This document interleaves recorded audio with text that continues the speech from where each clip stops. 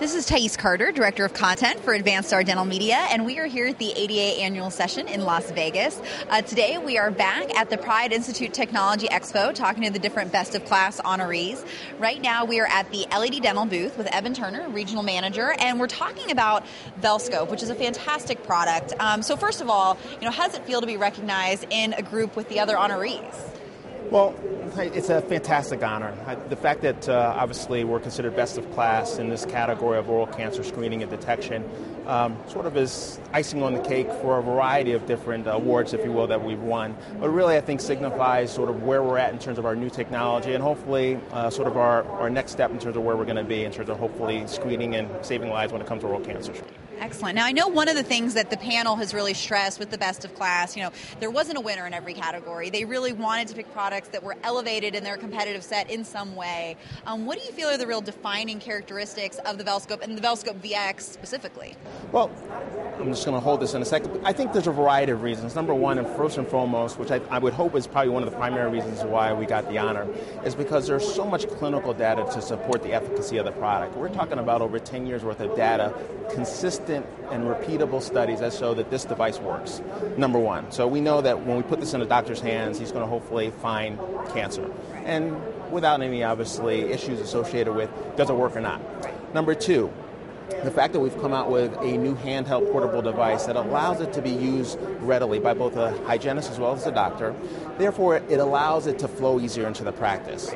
Number three, I think the price point has been a fantastic point to where now it's obviously easier for a practice to adopt. The fourth thing that uh, I think sort of is, if you will, uh, something that allows a practice to really use this readily is the ability to photo document. Absolutely. So you see something suspicious, you're not really sure what to do, you can have the patient come back, you can compare what's going on from before and after, or if you need to send that patient to an oral surgeon, now there's something that says, Dr. Oral Surgeon, this is where you need to take a biopsy. Right. You know, please let us know what's what's going on.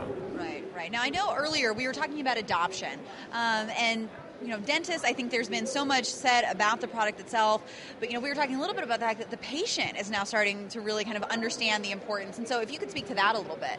Well, we've been in the this arena now for over five years, right. and with that, we've had several different types of, of devices, if you will. This is our third generation. Right.